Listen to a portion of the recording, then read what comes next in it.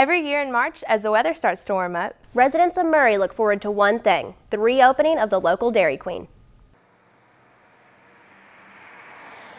If you find yourself driving down Main Street and notice a crowd surrounding an old fashioned walk up restaurant, you're probably passing by the Dairy Queen.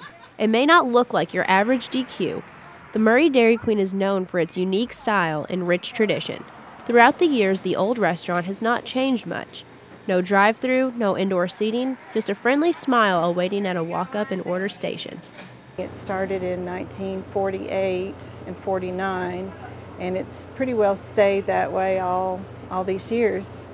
And um, we think it's real important to keep it that way because that's what everybody likes. We're also seasonal, we're closed uh, from November 1st through February 29th, and then we open again on March the 1st, and that's always a big like celebration of, of spring. Well, I think we're kind of more of um, something to do. You know, it's more of a tradition. It's more come and gather than to be just, you know, come and get something to eat. You know, it's it's more of an experience because you get to stand in the line. You feel like you're part of history and a part of the town with a unique place like this. Unlike other Dairy Queen restaurants, Murray's DQ only serves ice cream products, hot dogs, and chili dogs.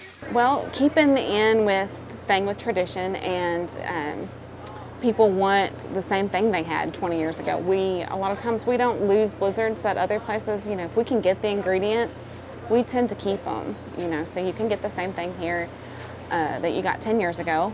And plus our hot dogs and chili are unique in that we aren't a system food store, so all of our chili and the hot dogs are something that are special to just this Dairy Queen. You're not going to find a foot long chili dog just like this anywhere else. It's a unique chili and a unique recipe.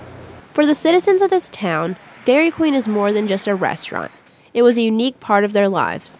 Community members who enjoyed visiting the DQ when they were young now have the ability to share the same experience with their own children. When you're when you're young, when you're you know just barely able to stay over the counter, it's it's you know I want to go to Dairy Queen, I want to get ice cream, and then as you get older, it's the hangout. You know, you want to go and see who all's out and about, and you meet at Dairy Queen.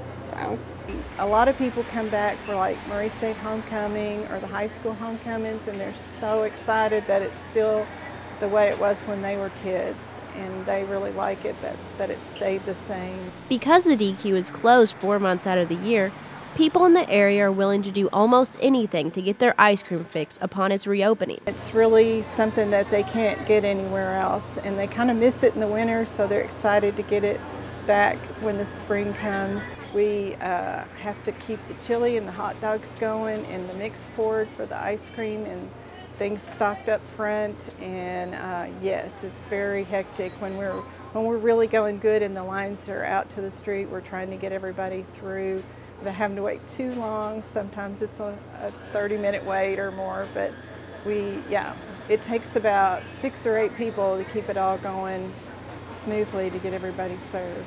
Murray DQ is one of few Dairy Queen restaurants that remains unchanged, and the Kemps plan to keep the tradition going for many years to come.